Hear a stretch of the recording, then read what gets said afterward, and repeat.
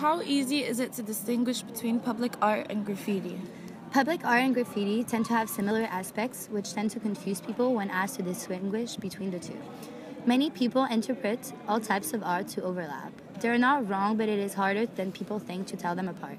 Individuals are likely to have different perspectives, therefore, a piece of art can be pondered as a different type of art than the artist intended.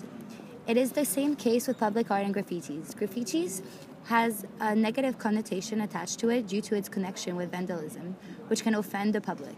Also, doesn't it doesn't necessarily have to be considered as art. It can just be scribbles on a wall or other properties. It is often a trace from gangs to mark their territories. So when other gangs cover up the old graffitis it can lead to violence and other crimes. On the other hand public art has a more positive view when it comes to the public it can address serious issues in a way that is pleasant to the human eye but at the same time communicates socially relevant matters to the society there are different types of public art, such as traditional, stencils, stickers, and 3D art. Traditional includes spray paint that is artful and elaborate. Stencil is an easier method that mostly involves outlines, and finally, stickers are a simpler way to spread the images. However, the majority of those characteristics can be applied to graffiti. Brick Shop well owners in Brick Lane also like the graffiti because it brings attention to the vibrant area. colored walls and It also seems the tourists Any like the paintings even and local drawings would in know the that in streets Brick Lane as they there's pay high for and tour low guides to quality show of them various around. types of public art. Everyone has freedom as long as it doesn't affect the Artists from freedom all or over the well-being world of the others. UK come here to What we express came with in themselves using their conclusion painter is that it's not easy at all to distinguish the between public art and graffiti, are often and that, doing and that they can coexist in Brick Lane as long as it doesn't bypass the freedom of the people living there. From the perceived confines of the formal art world, they challenge the entire concept of art by situating it in non art contexts, making it seem art provoking or to some simply provoking. Graffiti's history shows that it is associated with violence or a type of rebellion, giving the reason why people don't appreciate it as much. Many people argue that graffiti is art because people take the time and effort, and the artist uses their world as their canvas. Of course, many disagree with it and still insist that it is destruction of property. Public art can express community values, enhance our environment, transform a landscape, heighten our awareness, or question our assumptions. Placed in public sites, this art is there to everyone. But who is the public or everyone? Most public art is located in a multicultural community with each person having a different reaction. Many considered public art as a contribution to public history, a part of the changing culture, adding more value and meaning to the area, and the same to graffiti. Both the artists of both public art and graffiti, or some prefer van and graffiti, or some prefer vandals, have their inner vision and show how they view the world, as well as they're both very similar art forms and don't require spatial limitations or any type of limiting concerning words or graphics. Both are visual arts created in public locations, usually unsanctioned artwork executed outside of the context of traditional art venues. The two can be a powerful platform for reaching the public and a potent form of political expression for the opposed. The desire of artists is to provoke the diverse nature of viewing the public. Graffiti and public art have earned international attention and has entered into the mainstream world art. These forms of art have been more accepted by the general public, now, most likely due to its artistic recognition and the high profile status of Banksy and other artists. As a definition of public art, which is anything in the art form for the public, graffiti is most definitely part of public art, and it maintains a high status in urban culture.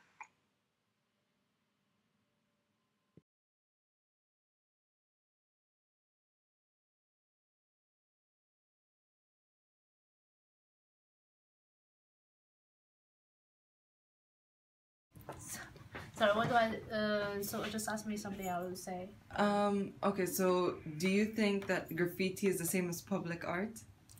Uh, yeah, definitely, because especially graffiti is like the face of Brick Lane. Basically, is is kind of one of the special thing about Brick Lane, and everyone comes here, you know, to appreciate graphic graffiti art or take pictures. So, I definitely agree that graffiti is art. And, Do you think it adds value or is it like a change of culture um, to the area? Yeah, it does in a good way, but um, depends. I think should be like restrictions, like some areas you allow and some you don't. Do you think that they're thought provoking, some of this artwork? Uh, if they are, it's it's a good thing because that's what the art's supposed to be. It's not just about being pretty. So yeah, I guess. Um, yeah, I, I personally really like this because I just live in Brick Lane, two minutes from here, and every day is like, I mean, kind of just a part of the, the daily basis. So it's not a big thing for me, but I like it and should be here. Okay. Okay. So I think that art is a good thing. Public graffiti has two sides to it. It can look very decorative. It can even brighten up places that are usually dingy and dark, and you know, there's not really much going on there. But of course, there's the other side of it of the owners that own the property. You know, a lot of graffiti artists don't ask for permission before they spray something, and so it may look good, but it can be detrimental to someone else's property. But the difference between, I'd say, between art and graffiti, how can I say? it? I think graffiti is always personal, and art doesn't need. Art is more of how someone sees something else, and graffiti always seems to be about the person creating the graffiti. So it's like their tag. So Yeah. they'll do their tag everywhere, and so I think it's very, a lot of the time, it can be very re- repetitive. So it's not that they do so many different arts of work. A lot of graffiti artists, I think, do the same work over and over and over. Not to say that it's not art. Of course, it's art. Any way you want to express yourself is art. But there is the graffiti thing with people's property, and me as a property owner, that I worry about. Okay. You know, you're going to stand so far away. Hello. Okay, can you differentiate between graffiti and public art? Me personally, well, it's um, it's very difficult to I think it's um, a subjective issue where you can decide yourself whether you think of it as art or graffiti. I don't think there are any rules suggesting either way, so um, it's entirely up to the individual. Do you think graffiti is mostly associated with vandalism or is it more associated with art? Uh, well, I think there's several different types of graffiti. There's graffiti art, which has often been regarded as a, uh, a distinct art form, like uh, graffiti on American, uh, on New York subway trains, and sometimes on London subway trains. Sometimes on buses, you see um, graffiti. Uh, often tags of people's names, um, or uh, images of from from the uh, graffiti artists, and it's difficult to say whether that's art or graffiti art. Do you think that public art or graffiti adds more value to the area? Um, as a visitor to the area, visitors probably think, "Oh, this looks really nice," but it's a different matter for the locals who have to live with it. Uh, you'd have to ask what the locals think of the art that they're surrounded by, or the graffiti they're surrounded by. Um, I quite like the graffiti art, some of it. Some of it's not very successful, some of it's really badly done, uh, some of it's fantastic. But um, whether I enjoy it or not is not really the point because I don't live here.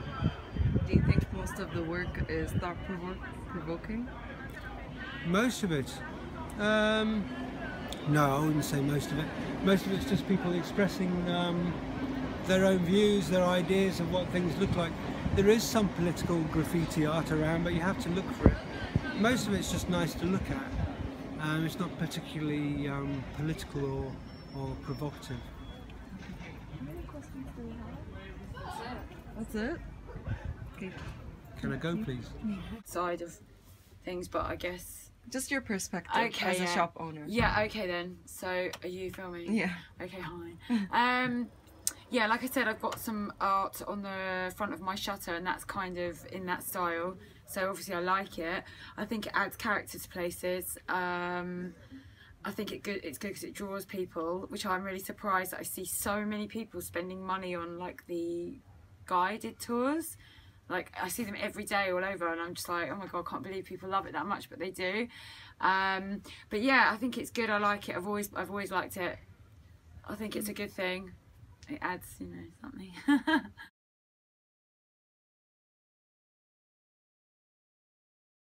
In conclusion, art is subjective and can mean different things to different people. While some might find some sort of deep meaning in a painting that is white, others might consider it rubbish. For that reason, art depends on perspective. If one believes that tagging, tagging his name or painting something beautiful on a wall is some kind of art, then it has to be. Yet it should not be accepted by the public if one does not have consent of the owners of these walls. Asking around in Brick Lane, we discovered that many locals think that graffiti and public art are not the same. Some mentioned that graffiti was the face of Brick Lane and that graffiti adds value to the area. But there was to be restrictions. Shop owners in Brick Lane also like the graffiti because it brings attention to their area. It also seems that tourists like the paintings and drawings in the streets as they pay for tour guides to show them around. Everyone has freedom as long as it doesn't affect the freedom or well being of others. What we came with in conclusion is that it's not easy at all to distinguish between public art and graffiti, and that, it, and that they can coexist in Brick Lane.